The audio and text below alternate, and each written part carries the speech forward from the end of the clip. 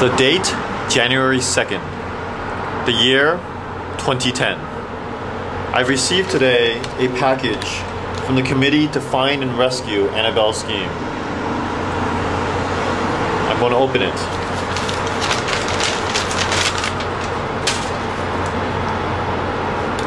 It appears to be an item sealed inside an anti-static bag.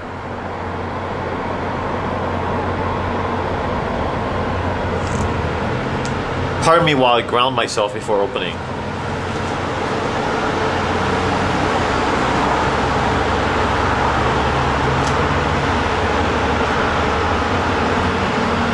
I have here a pair of wire cutters.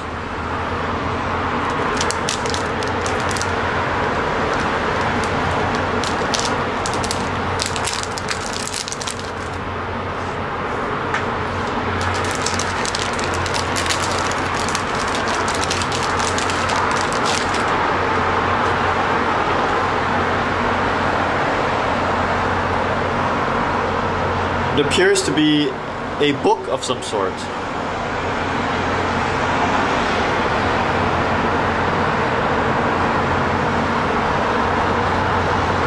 I'm gonna have to go analyze it.